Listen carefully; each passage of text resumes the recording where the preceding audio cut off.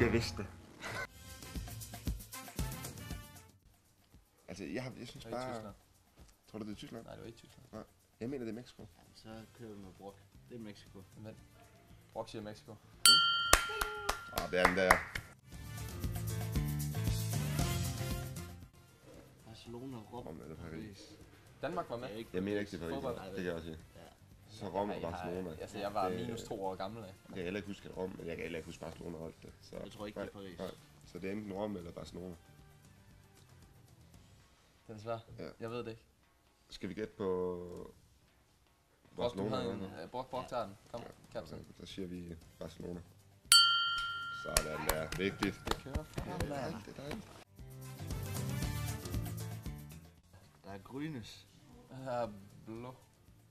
Er der ikke også rød Jo. Gul. og gul? Er det en hvid? Det er sort. Det var pisse, nu er jeg helt stille, fordi nu er der jo kun lige pludselig en farve tilbage, ikke? Hvorfor, hvad, hvad laver du nu? Nå, er du tørstig? Ja. Okay. Nej, den er sort den sidste. det er den. Den er sort. Er det okay? Jamen, så hvad er vi på? Den er sort. Vi sagde gul, rød, Grøn, grøn, blå, blå, sort. sort. Er. Ah, sådan.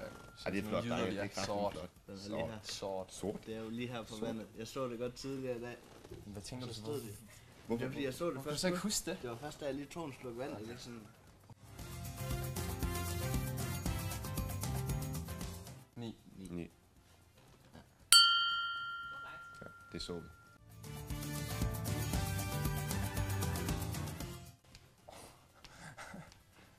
Bliver også sværere og sværere nu, synes jeg. Ja. Altså, Skal vi lige, kan vi lige få dem igen? Var det i vi hjem. 1908, 1896 eller 1948? Nej, 1948. Men det kan vi godt sige. Ja. Altså, jeg har ikke nogen anelse. nej, det er ikke. Vi siger 1948. Ja. Det var, det var egentlig god. Jeg vil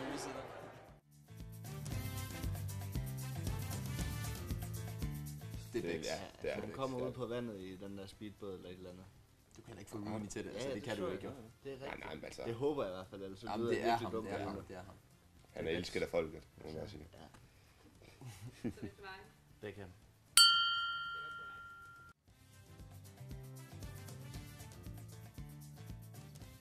Det var korrekt. Det bare må- lige urealistisk. Det må være 12 lidt. Altså, det, det kan ikke være højere. Det er lidt sindssygt. Altså, 12 lidt er allerede Jeg tror fuldstændig godt, det kunne være højere. Tror du det? De har fået smidt tre mand ud efter fem minutter, det må være vel Altså, jeg tror ikke, det er 17. Det virker bare for meget. Ja, men 12, det virker også fuldstændig uærligt. Brok, Brok, du har gjort det godt indtil videre, kom. Jamen, så det et melder jeg igen. 12, 12 lidt. Hold Vi da har op. stadig Frankrig 17 ind. Det er også urealistisk Ej, af Frankrig, det- det altså. Det sig er jo fuldstændig Det hjernet. useriøst. Hold da op.